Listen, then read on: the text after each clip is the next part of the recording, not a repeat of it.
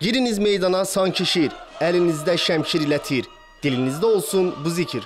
Ya Allah, ya Allah, ya Allah, hüvvə kəbir. Bu misralar hansısa şeirdən və ya poemadan bir parça deyil, şanlı tariximizin ilk milli marşındandır. Yəqin ki, böyük əksəriyyət bu misraları ilk dəfədir ki, eşidir. 1918-ci ildə qurulan Şərqin ilk müstəqil dövlətinin Azərbaycanın əsas atributlarından biri olan ilk himnimiz demək olar ki, unudularaq yaddaşlardan silinmək üzrədir. Himnin tarixinə gəldikdə araşdırmalar zamanı bir sıra maraqlı faktlar ortaya çıxır. Arxiv sənədlərindən məlum olur ki, himnin ideyası yazıçı və ictimai xadim Yusif Vəzir Çəmənzəminliyə aid olub. O, Üzeyir Hacıbəyliyə müstəqil dövlətimizin əsas simvollarından sayılan himnin yazılması ilə bağlı məktub yazıb.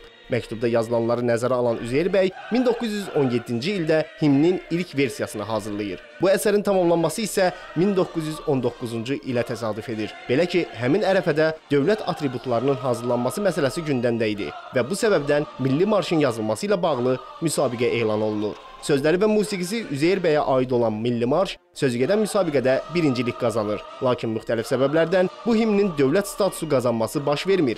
1920-ci ilin aprel çevrilişindən sonra ölkə bolşeviklərin əlinə keçir və bütün dəyərlər kimi bu himn də unudulur. Sovetlər Birliyi dövründə e, bu himnin oxunması qadağan edildi.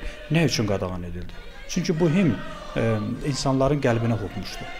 Bu bu himn insanlarda e, azadlıq, istiqlal, vətən sevgisi, azad yaşamaq haqqı bu kimi dəyərləri insanlarda formalaşdırırdı.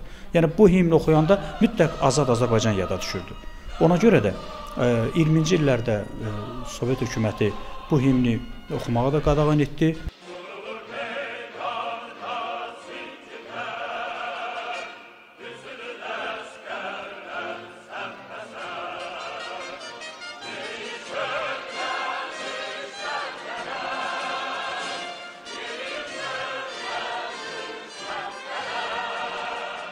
Bütün bu qadağalardan sonra Sovet hakimiyyəti milli marşın notlarını itirməyə, insanların beynindən silməyə çalışır. Uzun müddət arxiv rəflərində toz basan bu materiallar 20-ci əsrin 80-ci illərində yenidən araşdırılır.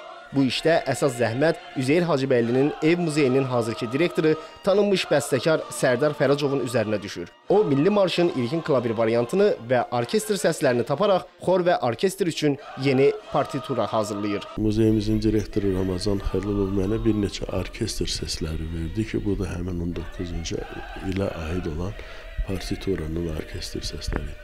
Mən bunları toplayıb mümkün partituranı yaratmaq istəyəndə Düzdür, yaratdım da, ancaq gördüm ki, səslərin çoxusu çatmır. Yəni simfonik orkestr qalan səslər itmişdi. Özümdə cəsarət topladım. Mən orkestr ə, necə deyirlər, versiyasını yenidən yaratdım və dörd səsli xor üçün işlədim.